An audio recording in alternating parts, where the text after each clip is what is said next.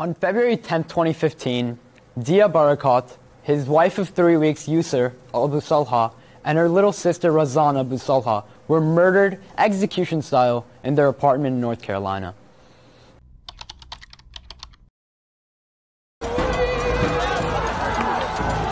Intolerance and anger have gripped parts of white America.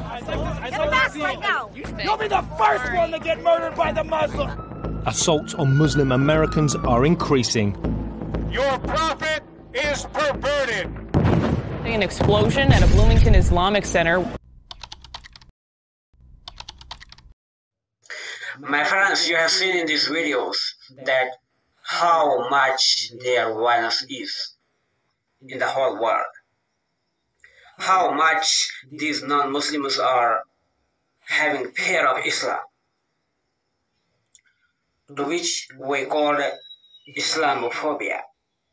The phobia, fear of Islam. Now the question is arising, why are there the fear of Islam even though there other religions are also existing, like is Buddhism, Hinduism, Christianity, Judaism, there, there is a big factor behind this. Alhamdulillah says in Al-Hashr, chapter number 59, verse number 13, about the fear of Muslims in the hearts of non-Muslims. بسم الله الرحمن الرحيم لأنتم أشد رهبة في صدورهم من الله ذلك بأنهم قوم لا يفقهون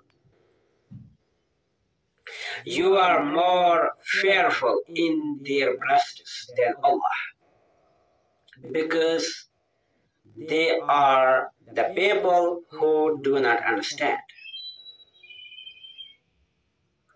Means these non-Muslims have actually the fear of losing their superiority in the world. They know that this Islam is too powerful. They know that this Islam is teaching everything from top to bottom. Our Islam is even making us travel how we have to think, how we have to deal with others. There is no any issue about which our Islam is not guiding when there is full guidance, there is complete guidance. It means if we follow this whole guidance, we will be guided. We will not find any type of trouble or any type of problem.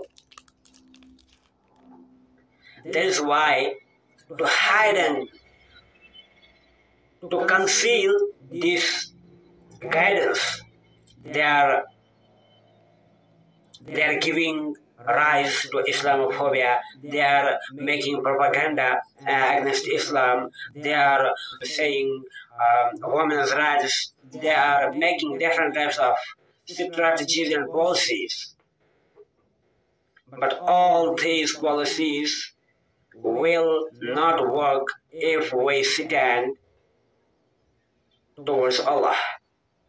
And if we if we seek holiness in front of Almighty God. In today's video, this was the topic that why is the fear of Islam? Because they think that the Islam will be superior to all and these Muslims will dominate the whole world and they lose power.